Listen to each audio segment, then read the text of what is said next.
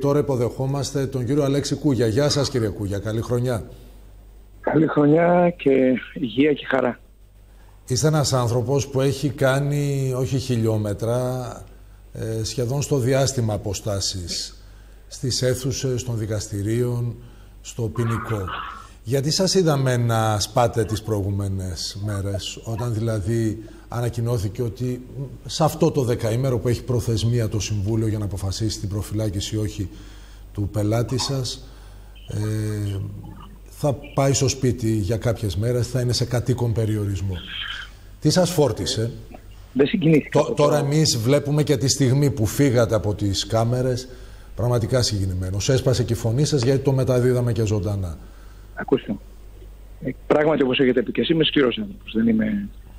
Όμως ε, υπάρχουν κάποιες στιγμές στη ζωή μου που πραγματικά ε, δεν μπορώ να ελέγξω τα συναισθήματά μου.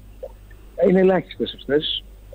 Ε, θα στο μια στιγμή όταν ε, αποφάσισα να χωρίσω με την πρώην σύζυγό μου και σκέφτηκα εκείνη τη στιγμή ότι, ε, μάλλον εκείνη τη στιγμή όταν ήταν οριστικό, όταν συνάντησα τα παιδιά μου που ήταν 5 και 2 ετών και θα ήταν το πρώτο βράδυ που δεν θα κοιμόμουν μαζί τους και δεν θα ξύμναγα μαζί τους, έκλαψα. Και προσπαθούσε να με συγκρατήσει, ο γιος μου ήταν 5 ετών, η μικρή ήταν 2 ετών. Ε, η στιγμή αυτή έχει που πάλι συγκινήθηκα, έχει απόλυτη σχέση με το τι εικόνα αντιμετώπισα και τι συμπεριφορά αντιμετώπισα μόλις βγήκα από το ανακριτικό γραφείο γιατί βγήκα τελευταίος βγήκα μετά από τον συναδελφό μου που, τον κύριο Βασιλικό που είμαστε συνειδητοποιητές να πλέξω το απόλυτο εγκόμιο του κύριου Βασιλικού ε, θα, θα μπορούσα να μιλάω πολύ ώρα για αυτόν χαίρομαι πολύ που τον γνώρισα και συνεργαστήκαμε μαζί φανταζόμαι ότι εκεί στο Βόλο θα τον γνωρίζουν όλοι για μένα ήταν μια πολύ ευχαριστή έκπληξη αυτή η συνεργασία. Και μόλις κατέβαινα τη καλά, γνωρίζετε το πώς που ναι. βρίσκεται το αναλυτικό γραφείο, είναι στον πρώτο όροφο. Και κάτω στο ισόγειο ήταν 100 περίπου συμπολίτες, συγχωριανοί, όπως θέλετε πείτε το, από την Αργαλαστή. Και ήταν όλοι Έλληνες. Του κατηγορημένου, ο αδελφός του και τα τρία κοριτσάκια του, τα οποία και τώρα μου έχετε έτσι εικόνα και πραγματικά συγκινούμε. Ε, οι μέντες συγχωριανοί συμπολίτες με χειροκροτούσαν. Οι, τα δε κοριτσάκια έτρεξαν και τα τρία, δεν ξέρω αν υπάρχει αυτή η εικόνα στις φωτογραφίες, και έπεσαν επάνω μου κλαίγοντας. Και εκεί συγκινήθηκα και εγώ. Βγήκα έξω λοιπόν μετά για να φύγω, γιατί φανταστείτε, εδώ έφυγα 12 ώρα από την Αθήνα, έκανα ρεκόρ για, στο Βόλο 2 ώρες και 10 λεπτά, δηλαδή ε, δύο φορές με γράψαν στον δρόμο. Ήθελα να χάσατε και χρόνο. ναι, ναι. να σας γράψω. Μην τα λέτε όμως κιόλας γιατί είχατε και δυο σοβαρά τροχαία και... Δυστυχώς από τη δουλειά μου. Και το ένα ήταν και εδώ στα λιμέρια μας, στην περιοχή μας εννοώ. Πολύ πολύ άσχημο. Ακούστε με λοιπόν τώρα. και φτάνω στο, στο Βόλο, μπαίνω στο αγριτικό γραφείο. Είχε ξεκινήσει η ανακριτική διαδικασία. Συμμετείχα με τον συναδελφό μου και έπρεπε να γυρίσω πίσω στην Αθήνα γιατί διέκοψα δικαστήριο και έπρεπε να είμαι στις 6.30 ώρα στην Αθήνα για να αγορεύσω. Καταλαβαίνετε, και βγήκα γι' αυτό. Εκείνη τη στιγμή με ρώτησε συναδελφός σας γιατί συγκινήθηκα. Έφερα την εικόνα αυτή που και τώρα φέρνω στο μυαλό μου και είναι ο λόγος που συγκινήθηκα. Είναι από τις πιο ωραίες στιγμές της καριέρας μου, γιατί εκείνη τη στιγμή ε, τα κοριτσάκια μένα δεν καταλάβαιναν τι είχα εγώ μέσα μου. Πώς σκεφτόμουν, αλλά εγώ προηγουμένως σκεφτόμουν και προσπαθούσα να πείσω και την κυρία Σαγγελέα, μια εξαιρετική Σαγγελέα και τον πραγματικά εξαίρετο κύριο Νακατέ, ότι Εάν κρατηθεί προσωρινά ο κατηγορούμενος, πρώτον δεν έχει τίποτα να πάθει η κοινωνία. Αν το δικαστήριο αποφασίσει τελικά ότι έχει διαπράξει το έγκλημα γιατί αυτό το αρνείται και δεν προκύπτει ότι το διέπραξε και ιατροδικαστικά, ε, δεν υπάρχει κανένα πρόβλημα. Α του βάλουν να δίνει παρόν κάθε μέρα στο νοικοκυριά, να του πάρουν το διαβατήριο, να έχει απαγόρευση εξόδου. Εκείνο που σκεφτόμαστε όμως ήταν το χειρότερο απ' όλα. Δύο πράγματα. Και θα το, νομίζω ότι κανείς δεν τα σκέφτηκε έτσι. Το πρώτο είναι ότι το τρίτο κοριτσάκι, το μικρό, που είναι αυτό που περνάει και τη μεγαλύτερη τραγωδία, γιατί στο μυαλό του, όπως μου μίλησε και το ίδιο, είναι αν φταίει που το είπε στον πατέρα της, γιατί ο πατέρας της θα πάει φυλακή και έπρεπε να κρατήσει τον πόνο της κρυφό για όλη τη ζωή. Και το δεύτερο ήταν ότι ο πατέρας, αν πήγαινε φυλακή, το κοριτσάκι αυτό δεν θα είχε πόρους καθόλου να σπουδάσει. Το δεύτερο που σκέφτηκα όμως, που δεν σκέφτηκε κανείς, είναι ότι αυτός ο πατέρας, συγχρόνως με την απώλεια του κοριτσιού αυτού και των υπόλοιπων παιδιών του αφθάνε στη φυλακή, και γιατί είχα και έχω την άποψη ότι μόνο με το καρκίνο μπορεί να συλληφθεί εκεί, ε, θα έχανε και το παιδί του που έχει αποκτήσει με την τελευταία κυρία της σύζυγό του και θα τον έχανε και το παιδί του, αυτό που νευρεύτηκε. Καταλαβαίνετε τι συναισθήματα περνούσαν από το μυαλό μου και αυτό με οδήγησε σε αυτήν τη συγκινησιακή έκφραση που δεν μ' αρέσει κιόλας. Όχι ότι. Καλά, να σας πω το να έρχεται στην επιφάνεια ε, το πιο ανθρώπινο και να υποχωρεί, ξέρετε, αυτός ο ψυχρός επαγγελματισμός που χρειάζεται σε αυτές τις στιγμές, ε, δεν είναι και κόντρα στη φύση μας, του κάθε επαγγελματία, έτσι. Να σας πω κύριε Πολύζο, αν με γνωρίζετε και εσείς δεν έχετε τύχη να σε, σε πίσω σε ένα δικαστήριο, ποτέ δεν ήμουν ψυχρός επαγγελματίας. Ε, είχα και εγώ την άποψη όχι, ότι... Όχι, θα σας το πω από τη δική μας οπτική. Δηλαδή εμείς, εγώ έχω κάνει πολύ ωραία μετάδοση όταν έγινε το φοβερό τροχαίο στα Τέμπη. Με τα 21 παιδιά από το μακροχώρι που μεταδίδαμε και έβγαινε η συνάδελφος από το νοσοκομείο και έλεγε ένα ακόμη νεκρό παιδί, ένα ακόμη.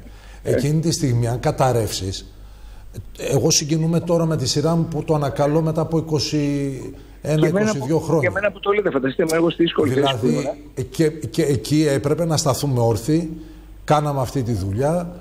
Τέλος πάντων, δεν θέλω να πω για να μην πάρουν εμένα τώρα τα. Ε, Αυτό είναι ο ψυχρό επαγγελματισμός, έτσι.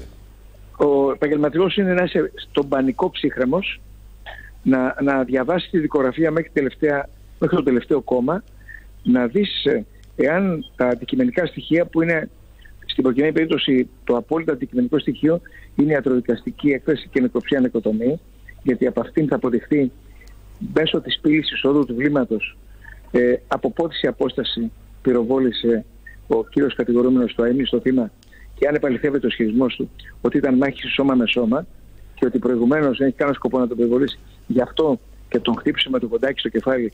Αλλά το ΑΕΜΗ στο θύμα ήταν τεράστιο στην πραγματικότητα. Ένα 92 160-170 κιλά και ο, ο, ο φερόμενος στο δράστη είναι ένας 1 και 60, πολύ λιγότερα αδύνατος άνθρωπος. Ε, αλλά το κυριότερο απ' όλα είναι ότι πρέπει να είσαι ψύχρεμος να αναδείξεις γιατί εκεί βοηθάς τη δικαιοσύνη. Γιατί οι δικαστές και εισαγγελεί έχουν δεκάδες δικογραφίες. Ειδικά οι ανακριτές έχουν δικογραφίες μηνών που διαχειρίζονται. Το χειρότερο απ' όλα με τι εισαγγελίε έχονται σε επαφή με τον οποιοδήποτε κατηγορείται για ελάχιστα λεπτά του ασκούν την ποινική δίωξη διαβάζοντας μόνο το διαβαστικό της αστυνομίας σε χρόνο 0 σε 10 λεπτά για την έμπειρια οι εισαγγελίες και μπορεί να έχουν στην Αθήνα ειδικά και 100 νέες δικογραφίες την ημέρα και είναι μόνο τρεις εισαγγελίες. Ε, και το δεύτερο, ποιο είναι το σημαντικότερο. Στην ανακριτική διαδικασία, ο ανακριτής μπορεί να κάνει δύο και τρεις και τέσσερις και πέντε ημέρες, γιατί η πέμπτη ημέρα είναι το ανώτατο χρονικό σημείο κρατήσεως κάποιου πριν απολογηθεί, να εξετάζουν μάρτυρες, να έχουν το κατηγορούμενο ό,τι ώρα θέλουν μπροστά τους ε, και να ε, μπορούν να καταλάβουν τι άνθρωπος είναι, να μπορούν να, να έρθουν σε επαφή με τους μάρτυρες και να δουν αν είναι αξιόπιστοι, ένα τέσσι με τον εισαγγελέα, τη εισαγγελέα, που αυτό δεν το έχουν. Και συναντούν μόνο το κατηγορούμενο στα λίγα λεπτά που μετά την απολογία του έρχεται σε επαφή υποχρεωτικά με τον εισαγγελέα για να τον δει μόνο και να του κάνει λίγες ερωτήσεις. Γι' αυτό συνήθως τα δικαστικά συμβούλια σε συντηρητικό ποσοστό αποδέχονται την άποψη πάντοτε του ανακριτού και όχι την πρόταση του εισαγγελέω στις περιπτώσεις διαφωνιών. Άρα λοιπόν θέλω να σας πω ότι ποτέ δεν ήμουν. Δηλαδή δεν μέχρι την υπο, υποστήριξη κατηγορίας. Δύο νέα παιδιά σκότωσαν το παλούδι με το βασανιστικό αυτό τρόπο. Λίγησα όταν ε, ε, οι, οι φεμινιστικές οργανώσεις χειροκροτούσαν απ' έξω και εγώ σκεφτόμουν ότι τα δύο αυτά παιδιά που ήταν ψυχροί δολοφόνοι, ήταν επικίνδυνοι άνθρωποι, θα περάσουν 25 χρόνια στην φυλακή. Ε, σκεφτόμουν την υπόθεση της Γαροφαλιά. Λύγησα όταν ήμουν υποστήριξη κατηγορία και σκεφτόμουν να σε αριστούχο του Πολυτεχνείου. Ε, έκανε αυτό το αποτρόπιο έγκλημα κάτω στη Φολέγαδρο και θα ζήσει όλη τη ζωή στη φυλακή. Λύγησα όταν είδα στην υπόθεση Καμπανού ότι 12 νέα παιδιά καταδικάστηκαν και τα 12 σε ισόβια κάθεξη για την τραγωδία Καμπανού. Εκεί λυγίζεις. Γιατί δεν είναι άνθρωπος που ε, επισκέπτεσαι. Τώρα, για, για, να πάμε λίγο στην υπερασπιστική, γιατί ξέρω ότι έχετε και πτήσεις σε λίγο και δεν θέλω να σας. Ναι, ναι ε, να ρισκάρουμε την πτήση σας. Ε, εσείς λέτε ότι στην χειρότερη περίπτωση πρέπει αυτός ο άνθρωπος να στερηθεί το δικαίωμα εξόδου από τη χώρα, να του κρατηθεί το διαβατήριο. Για τώρα, ε, προσωρινά. προσωρινά, αλλά λέτε ότι αυτό στο οποίο επιμένετε και έχετε και στοιχεία από την ιατροδικαστική έκθεση που μπορούν να το επιβεβαιώσουν, ότι είχαμε πάνω στην πάλη εκπυρσοκρότηση του όπλου. Το όπλο χρησιμοποιήθηκε μόνο για να τον χτυπήσει με το κοντάκι. Έτσι. Ε, ε, εδώ θα μπορούσε να τον σκοτώσει. Τον είχε σε απόσταση 5 μέτρων. Αυτός κινήθηκε ταχύτατα επάνω του. Η πρώτη αντίδραση του φερόμενου δράστη είναι να το χτυπήσει με το κοντάκι του όπλου. Αλλά ήταν αθήριο αυτός. Του έκανε ένα τραύμα γιατί εκείνο που πρέπει να αναλύσετε στους ε, θεατές σας και στους ακροατές σας, γιατί κάνετε και ραδιοφωνικές εκπομπές, είναι ότι ε, η νεκροψία νεκροτομή μπορεί να διερευνήσει εάν ένα χτύπημα έχει γίνει πριν χάσει τη ζωή του κάποιος ή μετά. Ε, εδώ λοιπόν έχουμε ένα χτύπημα στο κεφάλι πριν χάσει τη ζωή του με τον πυροβολισμό. Και έτσι επιβεβαιώνεται ο ισχυρισμός του φερόμενου δράστη ότι τον χτύπησε με το κοντάκι πριν. Και είναι, αντίστοιχο, είναι αντίστοιχο της, ε, τον, του αποτυπώματος που αφήνει στο σώμα το χτύπημα με το κοντάκι. Έχετε σχόλιο για την σύζυγο του φερόμενου ως δράστη, για το πώς θα κινηθεί, γιατί σήμερα ανακοίνωσε και την πρόθεσή της να πάρει μέρος στη διαδικασία Ελάτε τώρα, απέναντί του. Γιατί είναι τραγική αυτή η ιστορία; Το κοριτσάκι είναι μια τεράστια τραγωδία και μακάρι να το ξεπεράσει. Όπως αν δεν μιλήσετε λίγο μαζί του, θα δείτε ένα πλασματάκι στη διαλεξία. Μια αριστούχο φιλοσοφικής με πολύ μεγάλη ποιότητα προσωπικότητας παρότι δεν έχει κάνει την ολοκληρωμένη ποιοτική εξέλιξή της με τη μόρφωση που θα λάβει και τις εμπειρίες από τη ζωή. Εδώ τα, τα υπόλοιπα κορυφαία πρόσωπα του δράματος είναι βεβαίως τα δύο άλλα παιδιά του, ο ίδιος ο κατηγορούμενος, η σύζυγός του τώρα, η αδερφή του θύματος, που είναι η σύζυγός του. Και αν δεν κάνω λάθος, υπάρχει και άλλη μια αδερφή, ένας αδερφός του θύματος, ε, οι οποίοι έχασαν τον αδερφό τους, και ένα παιδί που υπάρχει από το γάμο του φερόμενου δράστη με την αρχή του θύματος που αν τελικώς ε, καταδικαστεί ο φερόμενος δράστης θα τιμωρηθεί με μια κάθριξη το οποίο θα μεγαλώσει χωρίς πατέρα. Τώρα, εγώ καταλαβαίνω απόλυτα την κυρία αυτή. Αφενός μεν είναι ο άντρας της και ο πατέρας του παιδιού της και το θύμα είναι ο αδερφός της. Και είναι συγγενής εξαίματος. Εγώ την καταλαβαίνω απόλυτα. Δεν έχω παρακολουθήσει τι λέει γιατί μου είπαν κάποια πράγματα λέει στις εκπομπές τηλεοπτικές. Στο δικαστήριο δεν έχει μιλήσει ακόμα. Δεν έχει δώσει κατάθεση ώστε να πει κάποια πράγματα. Αλλά από την άλλη μεριά, όταν είδα 100 συγχωριανού του, συνανθρώπους του, συμπολίτες του από την εργαλαστή να χειροκροτούν την απόφαση του κ. Ανακριτού, οι οποίοι γνωρίζουν τι άνθρωπος είναι ο κατηγορούμενος. Είναι άλλο η κοινωνία με το ένστικτο που έχει να επικροτεί την απόφαση να μείνει ελεύθερος λόγω του ότι φέρνει στο μυαλό της το δράμα του πλασματιός αυτού που από τα 9 του χρόνια μέχρι τα 18 αποπλανήθηκε, βιάστηκε, το εκμεταλλεύτηκαν την εικόνα του, τις εικόνες που αυτός γύριζε και που πιθανόν μπορεί να έχουν διανεμηθεί ως πορνογραφικό υλικό παγκοσμίως. Καταλαβαίνετε τι σημαίνει αυτό. Εδώ λοιπόν εγώ έχω απόλυτη έτσι συνέστηση του τι μπορεί να σημαίνει στην κυρία αυτή.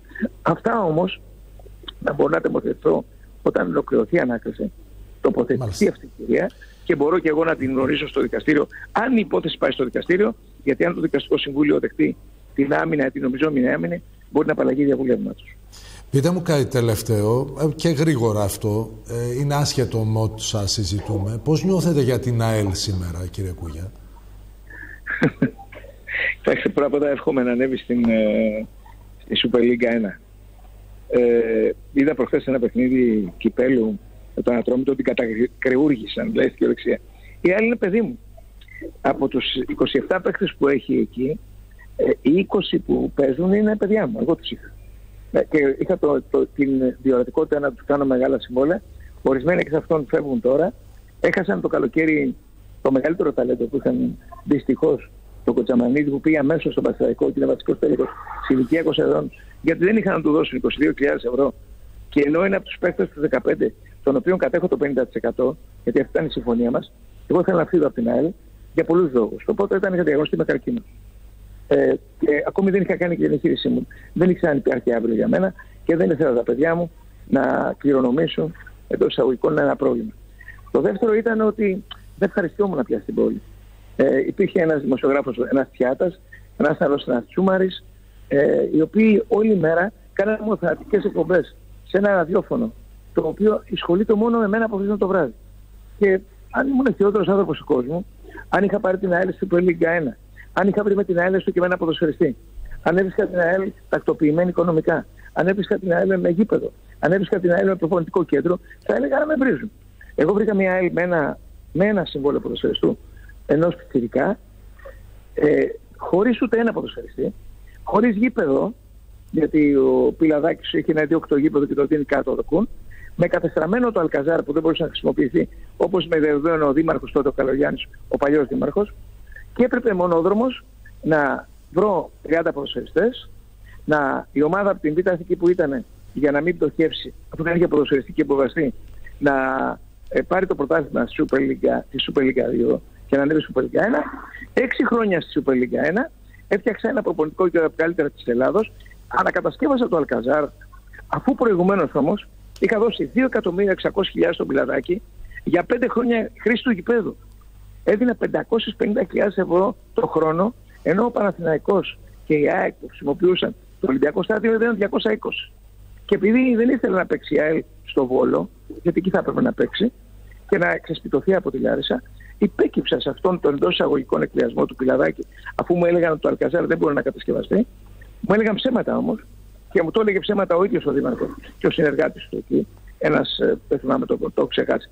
Ε, καμιά φορά καλύτερα να ξεχνά πρόσωπα και Και το οποίο όταν μετά από πέντε χρόνια κατάλαβα θα πτωχεύσω. Γιατί δεν έβγαιναν τα έσοδα λόγω του κορονοϊού και γιατί ο Πιλαδάκης μας έπαιρνε προκαταβολικά το, το, το 30% του ηλιοπτικού συμβολέου και έκανα μια επίσκεψη στο, στο καινούργιο πιλότο τον Αυγενάκη και σε σχέση με τον αγοραστό, τον παλιό Περιφερειάρχη, μου είπαν ότι με 600.000 μπορώ να ξαναφτιάξω το Αλκαζάρ και να το πάρω για 10 χρόνια. Και τότε καταλάβα ότι μου λέγανε ψέματα. Ε, θα προτιμούσα από την αρχή να έχω δώσει 600.000. Και πράγματι το Αλκαζάρ είναι με 600.000 ένα γήπεδο που μπορεί να παίξει και στα κύπελα Ευρώπης. Αν το δει κάποιος στα αποδητήριά του, πώς είναι η χώρη του, πώς έγινε το χορτάρι, πώς έγιναν οι πίνακε, πώς έγιναν. Είδατε οι... όμως ότι το κλείσαν φοβούμενοι. Έτσι... Τώρα; Ε, ναι, έχουν, έχει θέματα στατικότητας. Ψέματα, ψέματα, σας το λέω εγώ. Αυτά είναι κόλπα. Αυτά είναι κόλπα για να κορομάνε εκεί για να αναγκάζονται κάποιοι να πηγαίνουν να παίζουν στο, στο, στο πιλαδάκι. Ε, ναι, είναι λοιπόν, έχουμε καιρό να τα πούμε από κοντά. Σας περιμένω στην πρώτη Θέλω ευκαιρία. Όμως το Ελάτε. Ε, είναι λαχτάρα μου να δω την άλλη στην Super League 1. Αυτή τη στιγμή, επειδή έχω μια ηγετική θέση διοικητικά ε, και για το σύνολο των υποδοσφαίρων ως αντιπρόεδρος του Ολυμπιακού και ως νομικός σύμβουλος του Ολυμπιακού και μάλιστα ως απόλυτος εκπρόσωπος του Πατού, θα ήθελα πολύ πολύ να ξανάρθω στη Λάρισα έστω και με τον Ολυμπιακό, ή να φιλοξενήσω τον Ολυμπιακό στο ιστορικό Καραϊσκάκι για να ξαναδώ τους ανθρώπους μου, να ξαναδώ τα παιδιά μου, γιατί τα περισσότερα παιδιά ήταν πολύ μικρής ηλικίας που έκανε επαγγελματίες, παρά το έκαναν λάθος η Δίκη Σταμπέλη, που έδιωξε 10 παιδιά μεγάλα ταλέντα, τα οποία ευτυχώς εγώ τα πήρα στην Κόρινθο, η οποία πρωταγωνιστεί στη Γάμα Εθνική τώρα. Δηλαδή οι, οι 10 ποδοσφαιριστές της Κόρινθο είναι 10 Λαρισαίοι. Εγώ όταν έφυγα από την ΑΕΛ, άφησα 32 ποδοσφαιριστές, μόνο δύο ξένους, 30 Έλληνες, εκ των οποίων οι 20 ήταν Λαρισαίοι. Μάλιστα. Ευχαριστούμε κύριε Κούγια. Στον όμορφο Βόλο και εύχομαι, γιατί είδα ακόμη να υπάρχουν λάσπες στη γύρω περιοχή, αυτή η πανέμορφη πόλη να ξαναγίνει όπως ήταν πριν και καλύτερη. Ευχαριστούμε. Ευχαριστούμε. Γεια σας κύριε Κούγια, καλό ταξίδι.